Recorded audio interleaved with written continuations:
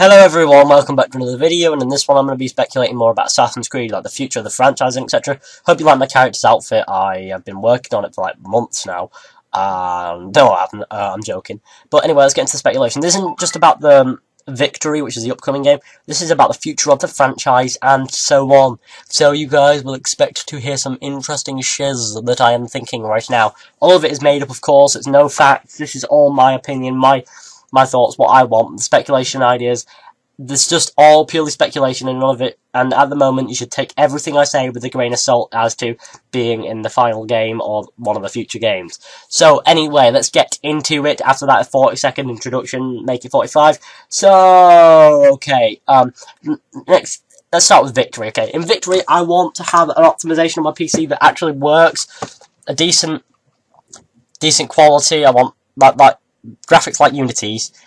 A better story, needs a great story, and it needs to be, needs to have, like, it's, it's London, it needs to be littered with Easter eggs from that time, like Jack the Ripper and etc., because the murder mysteries in this uh, apply that to London in the late 19th century, which is going to be in the, it is the last half of the 19th century, at least, because the Tower of Westminster, which everyone mistakes for the Big Ben in the full, Big Ben is the name of the bell, but it is there, that is there, that was built in 1850 something, so 1856 I think. So it's definitely the last half of the 19th century, which means it won't be Arno or anyone. So that means we might see Jack the Ripper, which would be pretty damn awesome actually. I'm pretty stoked on seeing that. That would be pretty cool.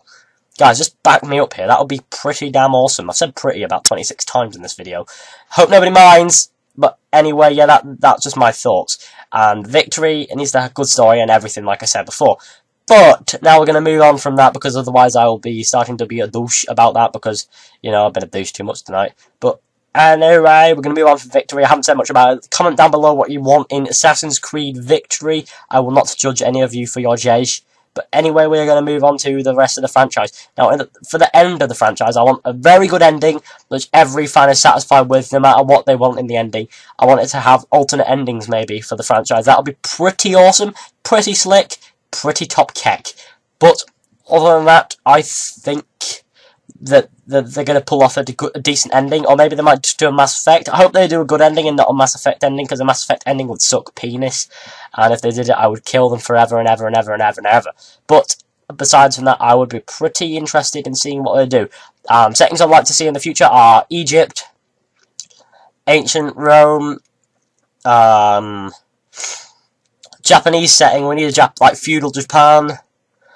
Maybe the American Civil War, I don't know, that might be a bit too futuristic, but they're going to the like late 19th century now, so that shouldn't be too futuristic, there's not enough buildings to climb it as, which would be pretty damn annoying, innit?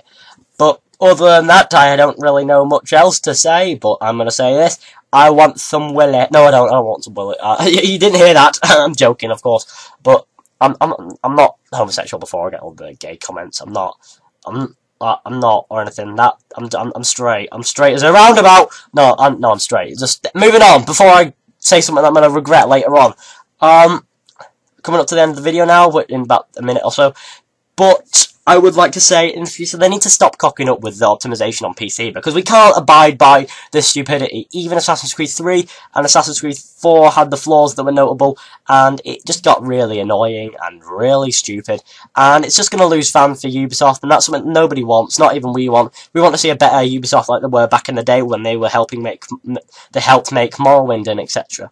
Not like they are now where they're just, you know, this is what, this is the product we get crashy games that don't work, we get etc. But so we want a good optimization, a great story. We need a great story.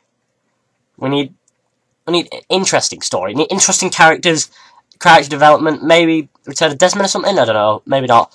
I just want a, a story that we can all get into and etc. Which will be pretty slick, pretty awesome, pretty keck. But other than that, we're coming to the end of the video. Please comment down below your thoughts, ideas, and etc. I will, of course, all take them in and maybe talk about them in future videos, which I did before, and I got over a thousand views. That's quite successful, so I'm going to do that again in the future. So, you guys will be able to find me, like, subscribe if you're new. Please, thanks for watching, guys. Hope you enjoyed. Please like, subscribe, share, comment. If you enjoyed this video, please share it with your friends, and maybe they'll enjoy it too. If you enjoy my channel, please share my channel with your friends as well. That would be pretty awesome. And I will also love you forever. I will love if uh, if you subscribe. I will love you forever. Not because I want something from you. I just like I I, I, just, I will just like you for doing it. It is pretty brilliant. It would be brilliant of you. Brilliant of thee. Avast to thee. But thanks for watching, guys. See ya.